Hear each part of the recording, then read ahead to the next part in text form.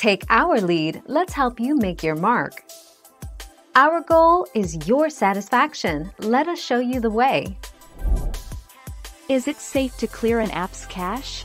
In short, yes. Since the cache stores non-essential files, that is, files that are not 100% needed for the correct operation of the app. Deleting it should not adversely affect the functionality of the app. Browsers like Chrome and Firefox also like to use a lot of cache.